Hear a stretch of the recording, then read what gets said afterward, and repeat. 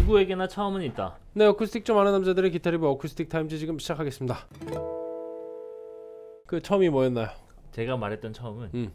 기타. 음, 처음 기타를 쳤을 때 그게 아직도 생각이 나거든요. 음, 기타가 너무 이제 기타를 치고 싶었던 게 아니라 음. 음. 악을 너무 하고 싶어가지고 이제 교회 형한테 음. 이야기를 했었거든요. 나 음악 하고 싶다. 그러니까 피아노나 뭐 많잖아요 교회에는 음. 이렇게 교회 형이 이거 한번 쳐봐라. 음, 줬던 그게 기억이 나요. 음, 그게 처음. 기타였군요. 네, 음, 기타였고 A 코드를 잡고 음, 일주일 내도록 쳤던. 음, 이것만 했어요.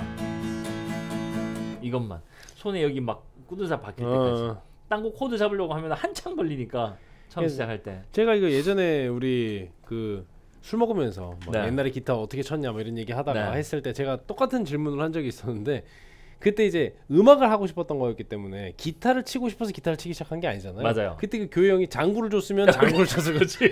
그랬겠지. 일주일 내내 이것만 하고 있어요. 베이스 줬으면 베이스 줬을 어, 그러니까 뭘 줬는지는 이제 그 교회 형의 그, 그 어떻게 보면 권장 사항으로 맞아요. 기타를 치게 된 본인의 선택이 아니었던 거. 저는 그 중3 때 기타 처음 쳤는데 음. 중3 때 음악 선생님이 클래식 기타 되게 잘 아. 치셨거든요.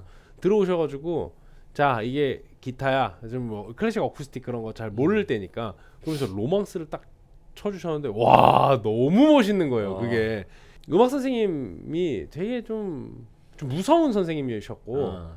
한 50대 그때 당시에 40대, 음. 50대 한 이 정도 되는 무서운 학생 주임 약간 그런 어. 스타일의 어, 그 음악 선생님이셔가지고 애들 다 무서워했었거든요. 근데 그 로망스 치는 거 보고 어. 선생님 멋있어 보이는 거예요, 갑자기. 아 나 저건 내가 저내 손으로 치고야 말겠어 이러고 그때 이후로 이제 선생님이 클래식 기타 그 특별 활동부 음. 그거를 모집을 하시면서 자기가 이제 기타를 보여준 거였는데 어. 그 연주에 그 감동한 애들이 꽤 많이 모여갖고 클래식 기타반이 청소년 만에 불을 질렀. 불을 질렀지. 어. 그래서 클래식 기타반이 그때 엄청 인기였어요. 그거 한번 치겠다고 해서 20명 한 30명 가까이 그때 어. 모였었던 것 같은데 그리고 이제 클래식 기타반에 들어가 가지고 처음으로 그걸 안고 로망스를 띵띵띵 야, 이걸 그치. 쳐봤을 때 그때 그 어떤 신기했던 어. 어내 손에서 이런 소리가 나네 이 감성이 저도 아직도 기억이 납니다. 맞아요. 누구나 그런 때가 있는 것 같고 그렇죠. 예. 첫 기타는 어떤 기타였어요? 첫 기타는 저는 연습실에 음악실에 선생님이 이제 기타를 많이 치시고 음. 교육도 하시고 하셨어가지고 되게 싼 조금 오래되고 약간 고장난 음. 어, 그런 느낌의 이제 중고 기타들이 꽤 많이 있었어요. 음. 그런 클래식 기타 중에 아무거나 하나 이제 연습용 기타로 잡고 음. 이렇게 하다가 너네 이 중에서 이제 한 달 있다가 로망스 시험 볼 건데 음. 이 중에 제일 기타 연습 열심히 해와서 잘 치는 친구한테 클래식 기타- 기타, 하나를 오. 주겠다 이렇게 된 오. 거예요. 그래서 제가 그때 일찍 했어요. 어, 오, 살아있네. 진짜 열심히 쳤거든요. 진짜. 오. 맨날 어 하고 이제 하고 하고 막 연습하고 뭐 하고 이렇게 해 가지고 제가 그 한 달 후에 기타도 받고 거기서 제일 잘 쳐서 이제 그때 어. 클래식 기타반 부장이 됐죠 제가 어, 그렇구나. 어. 한달 만에. 한 달 만에. 저 한 달 한 달 해가지고 ADE 했어요. AD. ADE로 모든 연주가 다 가능해서. 근데 뭐 사실 로망스가 막 그렇게 막 엄청 어려운 거는 아니잖아. 그러니까 물론 음. 멋있게 치려면 당연히 어렵지만 맞아요. 그 처음에 어, 그 그냥 타브 악보대로 연주만 하는 거는 그래도 어느 정도는 할 수 있으니까 그 이거 이거 아직도 기억나는 게 그때 우리 한 20명 넘게 그걸 쳤을 거 아니에요. 일단 여기 있잖아 이거. 그 이거 할 때 여기가 똑바로 소리 내는 애가 그 중에 한 세네 명밖에 안 됐어. 아, 그렇지. 다다 그 소리가 안 나지 거기. 이렇게 나는 거야. 그렇지. 그래서 이때 아직도 기억이 나. 이게 소리가 나면 애들이 오 했던 아, 맞아. 그 기억이 납니다. 그래서 저는 그거 위주로 연습을 했단 말이에요. 아. 그래서 그때 이제 클래식 기타반 그 부장을 한 다음에 그 해 말에 기타반 발표회가 있었어요. 음. 음. 악 이제 음악회 같이 해가지고 음. 하는데 전체 다 같이 합주하는 거 하나 그리고 음. 뭐몇 명씩 중주하는 거 하나 그리고 두 명이서 듀엣 하는 거 하나 오. 마지막에 솔로 하나 있는데 그 솔로를 이제 제가 아, 네, 야. 부장이 그거 하는 거지 이제 아. 어. 이렇게 또 지자랑을 또. 그렇게. 시작 그렇게 시작을 했습니다 제가 아, 그렇군요. 여기는 이제 교회형 저는 맞아요. 음악 선생님 아, 전 어. 결국에는 그래서 찬양, 찬양 인도까지 했어요. 저도 결국에는 결국에는 그렇게 된 네, 거죠. 맞아요. 맞아요. 이게 뭐 어쨌든 콕에서 어, 맞아요. 시작을 했다고 음. 하지만 결국엔 자기 의지로 거기까지 가는 그렇죠. 거죠. 네. 제 생각에는 그래서 그렇게 코 끼기 쉬운 기타이지 않을까. 아 좋습니다. 그렇게 코 끼기 쉬운 기타. 누구에게나 시작은 있는데 그 시작의 추억이 될 수 있을 것 같은 바로 맞아요. 그런 기타. 그러면은 뭐 명업 씨는 첫 기타가 뭐였어요? 저는 사실 브랜드가 기억이 안 나요. 아, 브랜드가 기억이 안 나고 저희 고정 형이 어. 치던 기타를 저한테 줬어요. 아, 고정 형이 7만 원 주고 샀다 그랬거든요. 아 그렇군요. 그때 당시에 7만 원이면 생각보다 그래도 좋은 음. 기타였다. 음. 그러니까 입문으로 치기에는 근데 고정 기타, 네 고정 기타, 고종 고- 브랜드 이름 같다. 고종 기타. 고정 형이 그거를 어. 7년 가지고 있다가 준 거예요. 그렇군요. 네. 저는 그때 선생님이 주면서 그 15만 원짜리라 그랬었는데. 오, 어, 그때 비싼. 거네. 어, 좋은 거 줬, 비- 줬던 어. 거죠. 그때 막 연습실에 있던 막 이상한 기타 치다가 광이 반짝반짝 나는 기타 기분 너무 좋았어요. 아 좋죠. 15만 원이면 그때 당시에는 꽤 괜찮았을 거예요. 그거 오래 쓰셨어요? 아 근데 그걸 언제까지 썼는지가 잘 기억이 안 나요. 저는 한 스물 스물네 살까지나 어. 스물다섯 살 때까지 썼어요. 저는. 저도 20대 그러니까 고등학교 때도 그 클래식 기타를 계속 음. 갖고 있었으니까 성인이 돼서까지 쓰다가 이제 그 다음에 음. 이제 기타를 바꾼 것 같아요. 어, 그렇죠. 그렇습니다. 그러면서 그 기타가 어디 가는지는 모르겠어요. 그렇죠. 기억이 안 나요. 자본주의 이제 물리기 아, 시작하면서 맞아요, 맞아요, 맞아요. 그런 의미에서 여러분의 시작이 되어줄 수 있는 바로 그런 기타 루체 100입니다. 이건 이제 예전에도 루체라는 그 이름을 쓴 악기들이 있었는데 음. 그건 limited edition으로 나온 좀 비싼 모델들, 음. 특별한 스펙으로 나온 모델들이 좀 있었고 루체 100은 얼스백 생각하시면 돼요. 음. 얼스백의 OM 버전이다. 음. 그리고 그 중에 이제 natural satin. 아 그렇게 생각하니까 되게 접근이 쉬- 좋네요. 그렇죠. 네. 얼스백인데 얼스백 다 dreadnought이니까 네. 어, 거기에 OM 버전이 루체 100이다 이렇게 보시면 되겠습니다. 29만 9천 원 가격 아주 좋고요. 전장은 102.5cm, 무게는 2.04kg, 두께는 99mm, 구 fret 뒤 둘레 73mm입니다. 쉐입 OM 솔리드 시트카 스프루스 탑에 아프리칸 마호가니 오크 매치코판이 들어가 있어요. 소니컬리 이네스트 UV 피니시인데 뭐 이제 finish가 굉장히 얇게 들어. 광이 거의 뭐 느껴지지 않는 그런 느낌입니다. 네, head machine은 뭐 스펙표에는 안 나와 있는데 아마도 nickel die-cast head machine으로 보이고요.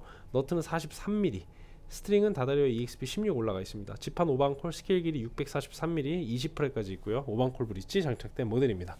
사운드 들어볼게요. 뭐 얼스가 저는 사실 그 생각이 들어요. 이 가격대에서 콜트보다 잘하는 브랜드는 없다고 생각하거든요. 뭐 도대체 뭐 어떻게 하면 이 소리가 나라는 그런 느낌이 얼스에서 우리가 느끼는 그 감성을 여기 루체에서 느낄 수 있을지 기대 한번 해보겠습니다. 네, 사운드 들어보겠습니다.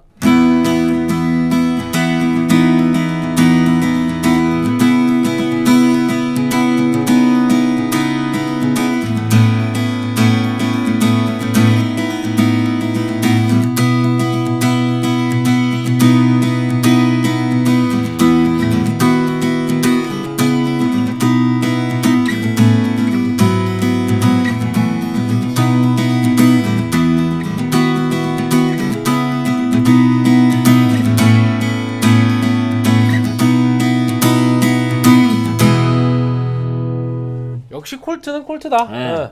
예. 이 전반적으로 그런 건 있어요. middle 쪽이 약간 매콤하고 맞아요. 역시나 뭐 strum 전용의 기타라는 뭐 그런 건 아니지만 음. 그래도 OM으로 쳤을 때 우리가 그 기대하는 정도의 quality의. 사운드를 너무 훌륭하게 뽑아주고 있기 때문에 29만 9천 원이라는 가격은 진짜 대단하다는 생각이 음. 듭니다. 네, 그럼 바로 finger를 여러 개 네. 해볼게요. finger 사운드 들어보겠습니다. 오, 좋죠 지금. 인토네이션 좋아서 지금 깜짝? 놀랐어요.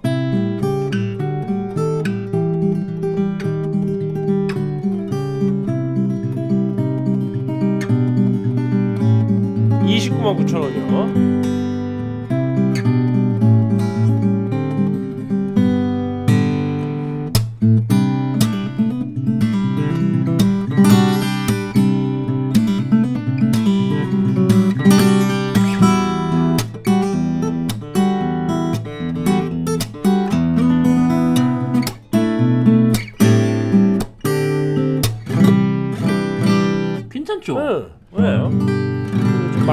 느낌으로.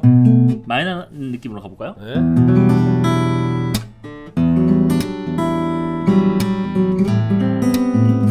오 좋아요.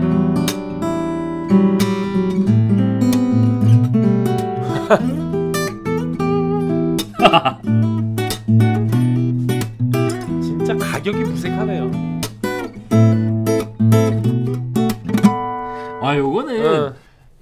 얼스 100 생각 어, 나네요. 맞아요. 네. 약간 그 요리 중에서 조금 매콤한 맛 도는 거 좋아하시는 분들한테 좋을 것 같아요. 네, 대역에 느낌이에요. 이렇게 2K 대역에 이렇게 뼈뼈뼈가. 좀 올라와 있는 그런 부분들이 있는데 그게 되게 spicy하게 음. 매력적으로 다가오는 것 같습니다.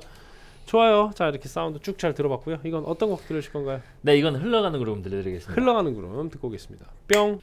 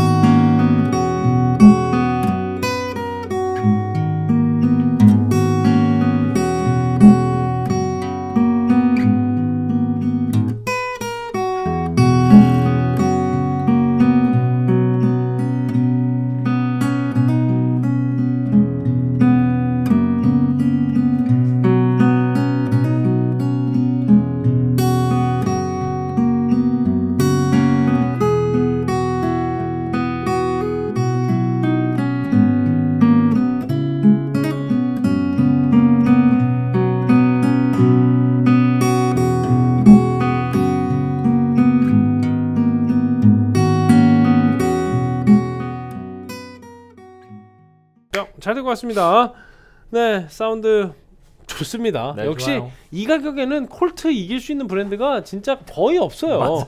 그러니까 가끔씩 어떤 특정 한 모델이 야 이거는 콜트 거의 뭐 잡겠는데요. 막 이렇게 맞아요. 우리가 종종 얘기하는 경우는 있지만 이 가격대 대부분의 모델들의 평균값을 내봤을 때 음. 콜트랑 아예 그 평균으로 대적해서 이길 수 있는 음. 브랜드는 아직까지는 존재하지는 않은 것 같습니다. 국내 브랜드에서는 약간 뭐랄까 이 가격대 마틴 같은 느낌이에요. 어, 이 기준, 가격대는 기준 이 되는 어, 것 같은 맞아요. 느낌. 어. 음. 깡패예요, 깡패. 네. 이 자꾸 그러니까 이 가격을 막 20만 원대에서 이렇게 퀄리티를 뽑아내 놓으니까 이제 후발 주자들이 들어갈 때 기준이 굉장히 어려워지는 거죠. 맞아요. 난해해지는 겁니다. 좋아요. 뭐 가끔씩은 진짜 그 단일 기어 하나가 콜트의 가성비를 뛰어넘는 전설의 그 기어들이 있기는 있었지만 브랜드 자체가 그 가성비를 뛰어넘은 브랜드는 아직까지는 없다고 보는 게 맞을 것 같습니다. 네, 훌륭한 사운드 잘 들어봤고요. 명호 씨부터 보러 한줄 평 드릴게요. 네, 저는 이렇게 드리겠습니다. 네 시작은 미약하였으나 끝은 창대하리라. 알겠습니다. 어? 결국에는 그런 거죠. 뭐 우리가 어렸을 때 그 기억을 가지고 있는 음. 그런 것들이 아무리 지금 뭐 내가 프로 연주자가 돼 있고 음. 커리어가 많이 늘고 했어도 그때 기억의 그 아, 소중함은 잊을 수가 없어요. 맞아요. 예. 다 그런 거 아니겠습니까? 요새 또 흑백 요리사 되게 인기잖아요. 음. 그럼 보면은 이제 그 성공한 그 셰프들의 그 옛날에 그 어떻게 아. 요리 시작했는지 이런 거에 사람들이 관심을 가지는 아. 이유가 맞아요. 그 시작이라는 게 주는 그 의미가 그럼요. 특별하거든요. 네. 그런 것 같습니다. 그 루체. 음. 그래서 저는 빛나는 시작 어 빛나는 시작. 어. 오, 이렇게 드리도록 하겠습니다. 딱 좋네요. 네. 시작하는 사람들한테 딱 좋고. 빛나는 시작. 네. 네. 빚 내는 시작이 돼서는 안 돼요. 어, 빚을 맞아요. 내면 안 됩니다. 시작을 시작을 할 때 큰 빚을 내는 분들이 있어요. 다음 또뭘 한다고? 사업을 시작할 때 빛나는 시작을 하셔야지 빚 내는 시작을 아, 하시면은 그렇죠, 그렇죠. 맞아요. 이건 아주 조심하셔야 되니까 빛입니다. 빛. 네. 빛나는 시작. 바로 스코어 한번 해볼게요. 네, 스코어 발표하겠습니다. 명호 씨 사운드 22, 가성비 19, 편의성 16, 디자인 15, 총점은 72점이고요. 저는 사운드 23, 가성비 19, 편의성 16, 디자인 14, 총점은 72점. 야, 이 가격에 72점. 72점 대단합니다. 가성비가 미쳤죠. 네, 지금. 19, 19. 뭐 그렇죠. 뭐. 이, 이 정도 사실은 뭐 20을 줘도 무방한 정도 맞아요. 이 가격에 뭐 어떻게 더 이상을 만들겠냐 뭐 그런 생각이 있기는 있습니다만 지금 저희가 그 스, 스쿼드 초창기 때 워낙에 이제 이게 점수 인플레를 방지하기 위해서 만든 그렇죠. 시스템이다 보니까 맞아요. 진짜 막 어떻게든 내리 눌러서 꾹꾹 그 저점을 줄 때가 있었는데 그 완전 초창기 때 했던 얼스 100도 67점이었거든요. 음. 근데 그거를 아마 지금 하면은 이거랑 비슷- 비슷한 비슷하게 어, 나올 것 같아요. 72, 73 네. 더잘 나오면 더 잘 나왔지. 맞아요. 뭐 그런 느낌이 듭니다. 그래서 그 동안에 우리가 스쿼드 시작하고 나서 한 3년 4년 동안 한 5점 정도의 점, 점수 인플레는 있었던 음. 것 같다. 아. 이 좋은 기타들이 계속 나오다 보니까 뭐 어쩔 수가 없어요. 맞아요. 네. 그때 그 우리가 시작을 그렇게 완전히 막 꾹 내리 눌러 갖고 거기서 시작하길 잘했어. 네 맞아요. 어, 시작부터 막 7, 80점 막 쉽게 아. 줬으면은 지금쯤이면은 또 터진다. 어, 끝에 있었을 거예요. 맞아요. 그래서 지금 이 참 이 점수 인플레라는 게 항상 저희를 힘들게 하는 부분이긴 합니다만 그래도 이거는 72점 잘 받았습니다. 네 오늘 뭐 얼스백을 잇는 또 루체백이라는 좋은 기타를 저희가 음. 만나게 됐잖아요. 다음번에도 이런 가성비 좋은 기타들은 저희가 놓치지 않고 음흠. 잘 발굴해서 여러분들께 소개해드리도록 하겠습니다. 더 좋은 기타로 돌아오겠습니다. 어쿠스틱 타임스.